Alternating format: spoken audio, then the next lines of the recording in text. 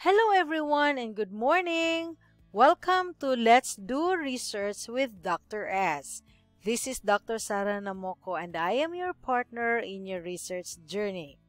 In this video, we shall be discussing about the characteristics, the strengths, and the weaknesses of a survey research design.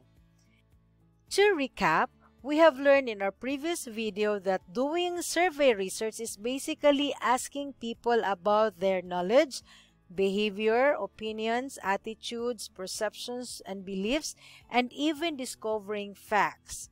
Because the primary purpose of a survey research is to describe in quantitative descriptions the characteristics, behaviors, and attitudes of a population.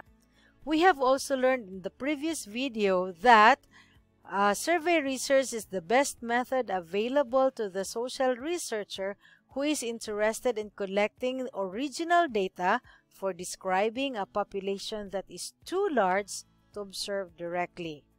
Another thing that we learned in our previous video is that a survey research is composed of different types and these are the descriptive research, exploratory research, correlational research, and causal research.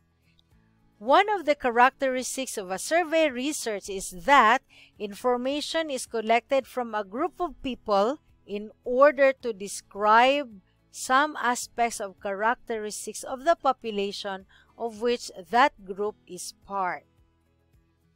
The next characteristic is that the main way in which the information is collected is by asking questions.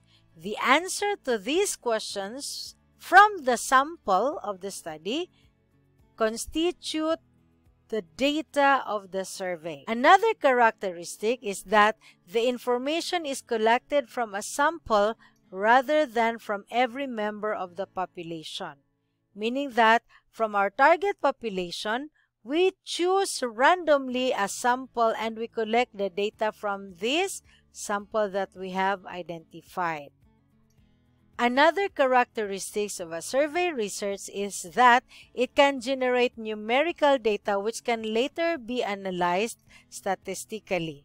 And then after you have analyzed the data, it will enable you to provide a descriptive, inferential, or explanatory information based on the data that you have analyzed.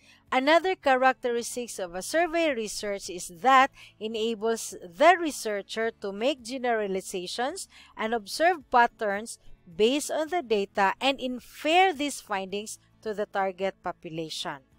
Now, a survey research has uh, its strength that will enable the researcher to enjoy its benefits.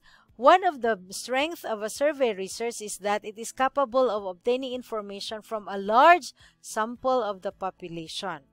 And they are well suited to gather demographic data that describes the composition of a sample. And another thing is that it requires lesser time and lesser expenses. It also requires minimal investment in terms of time, money, and energy to develop and administer. It is relatively easy for making generalizations, and survey can also elicit information about attitudes that are otherwise difficult to measure using observational techniques. Alternatively, a survey research cannot be used if you want to understand the historical context of the problem that you want to investigate.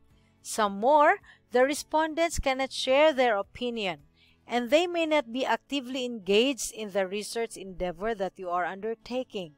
And worse, they may not tell you honestly. They may not answer your question honestly. Furthermore, a survey research can also be a source of error when you as a researcher later on when you analyze the results you may have an intention to misreport the behaviors of the respondents because you want to confound the survey results or you want to hide inappropriate behavior of your respondents. In addition, respondents may also have difficulty assessing their own behavior or they may have poor recall of the circumstances surrounding that behavior. As I close this video, let me bring you to the references which have been used in this lesson. Once again, this is Dr. Sarah Namoco and thank you very much. Bye-bye.